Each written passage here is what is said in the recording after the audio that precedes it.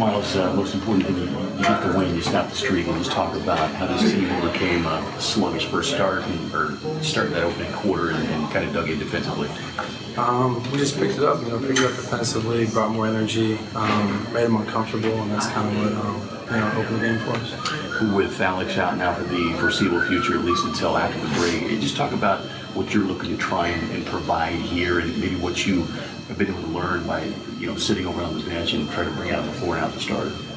Um, you know, just defense, rebound, energy. Um, you got to finish. Uh, just bring the big man things that our team needs, and uh, you know, run the court really hard to be able to play up and down. So, um, you know, I'm just getting over a little bug, but I feel like I'm gonna be ready.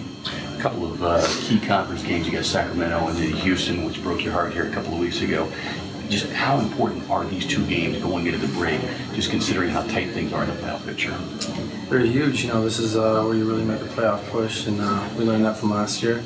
And uh, this is where a lot of teams let up. You know, you can't be thinking about break. We got to come out, um, win these two, you know, and uh, keep that momentum going after break. And just talk about uh, what what you saw out there with Marcus Morris tonight. I mean, just on a whole different level, and how key was he in kind of getting this team back on top here tonight? I mean, it was a huge performance. You know, uh, he's capable of that. He's a great player, and tonight he was on, so it was a lot of fun to watch. Thanks, bud.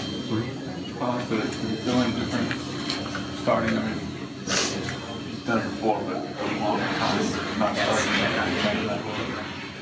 I mean, I definitely felt a little rusty out there. Some shots that are just not how they normally would go down for me and stuff like that. But um, you know, it's just one game, and uh, I think I made it back in the game.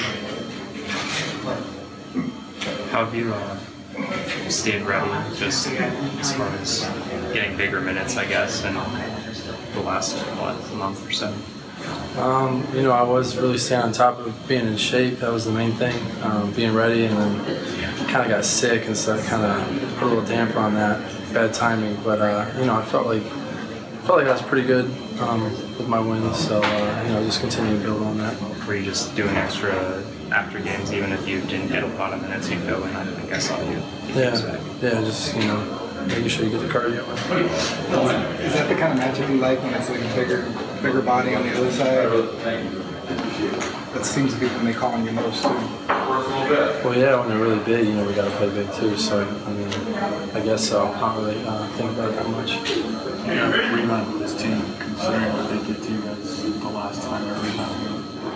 How much of that was talking about beforehand across the board? Uh, That was a you know he, huge key to the game. Um, they're a great rebounding team. Uh, they got big bodies, and uh, as a team, I think we uh, controlled the class really well. How'd you catch that one? That one I don't know. I could have done it a lot better though. That's what I'm talking about. I just felt rusty. I don't know. But that one, that one looked like it was almost off your fingertips. Yeah, I thought, I was more like the hands.